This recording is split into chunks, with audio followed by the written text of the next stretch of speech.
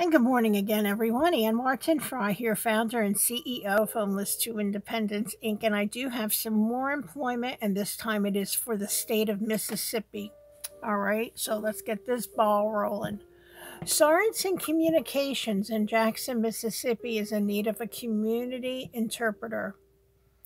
And then West Jobs, uh, West Company, excuse me, has a position for a network product manager does not state the location. My apologies on that.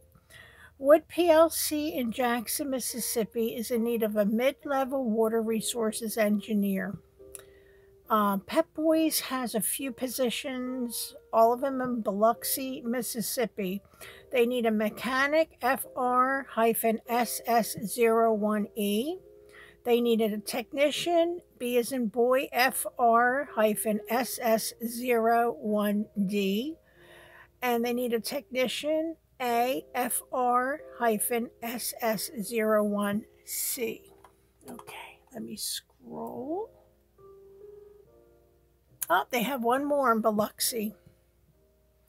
And that is for a technician, a master, FR hyphen SS01A. Now, Pep Boys and Olive Branch has two positions open, and they are separate position. Um,